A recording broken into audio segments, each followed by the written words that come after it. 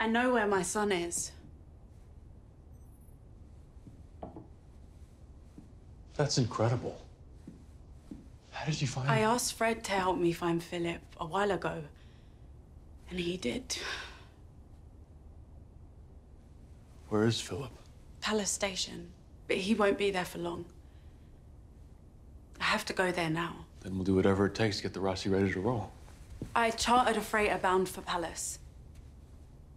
It leaves in a few hours. Okay, I'll get packed. No, I.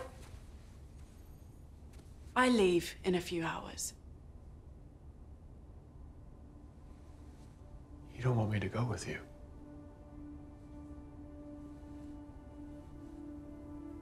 Filip's father is Marco Inaros. What? Naomi, the UN and the OPA have a price on his head. Filip is with He's him, not. I, I'm sure of that. you can't do this alone. It's too dangerous. You don't understand. you didn't give me a chance to understand. If I show up with an Earther, with James Holden at my side, it's only going to make things harder. I'll stay aboard the freighter. At least then I'll be close if you need any help. You can't help me with this.